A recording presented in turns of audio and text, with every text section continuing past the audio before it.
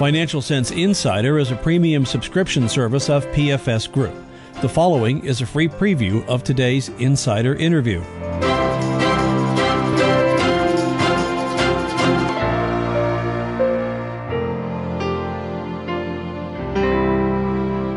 Joining us on the program is Laurence Kotlikoff, author and professor at Boston University.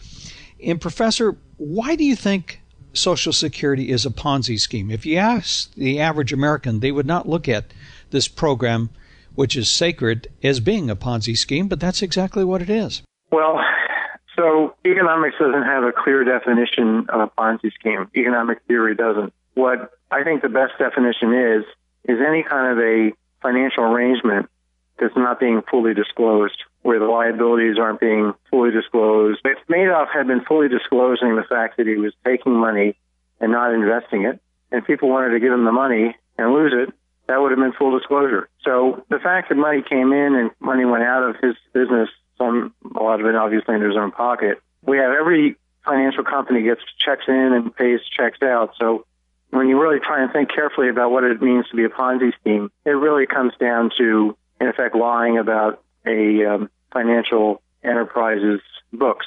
And the U.S. government in general has been lying about its books. And it's been doing this by putting just the way Enron did, which was to hide lots of liabilities off the books, keep them off the books, use accounting tricks to keep them off the books. In the U.S. case, the accounting trick is to take money from people call it taxes rather than borrowing, but at the same time promise them benefits in the future, which you don't call return of principal plus interest, you call transfer payments. So it's that simple. You take in money and you don't call it borrowing, but you still provide a promise. And in the case of um, our government, we have promises of all types that are off the books. And I'm not just talking about Social Security here or Medicare or Medicaid benefits to the elderly, which are huge, but I'm also talking about welfare payments to people, defense spending. We're always going to have a military, right? So there's going to be some minimum level of spending that the government has to do on the military. We've got to pay the president have you know pay for his lunch every week, every day, pay for um, upkeeping the roads, Coast Guard.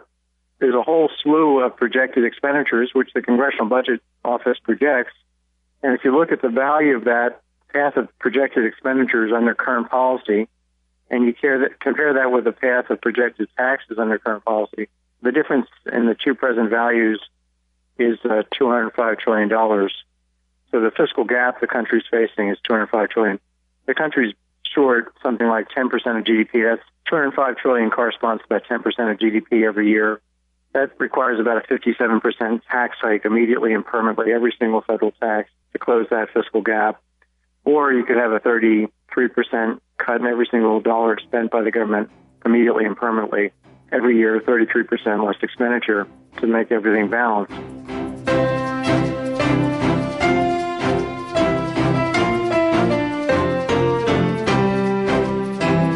Hi, everybody. John Leffler here. You know, you've just been listening to a free preview of the Financial Sense Insider Premium Edition.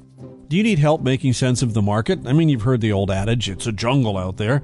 Well, you know, you can join our premium weekday service and you'll gain access to leading experts, analysts, and market technicians on what's driving the markets, the economy, and your future. You can get all of that by subscribing today at financialsense.com. That's financial sense, S E N S E, like you're trying to make sense of something, dot com, and click subscribe to join our premium weekday service. You won't regret it.